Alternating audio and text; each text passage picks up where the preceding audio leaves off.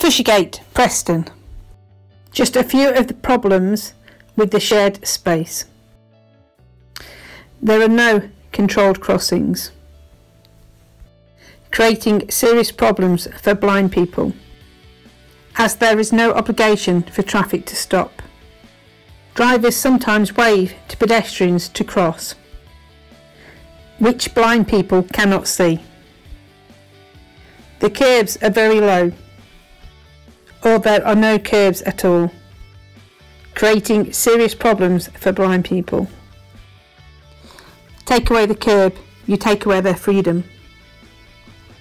There are wobbly paving slabs, very wobbly, creating potential trip hazards in the high street. Some pavement curbs are sinking, causing more potential trip hazards.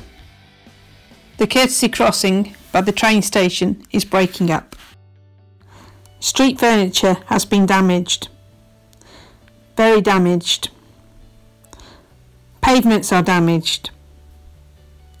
Roads are damaged. Up and down the high street.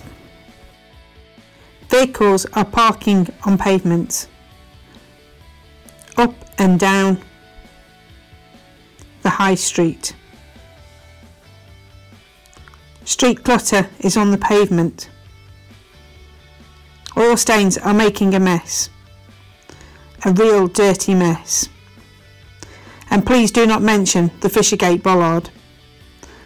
There are only two left standing. Please make Fishergate accessible for all and make everybody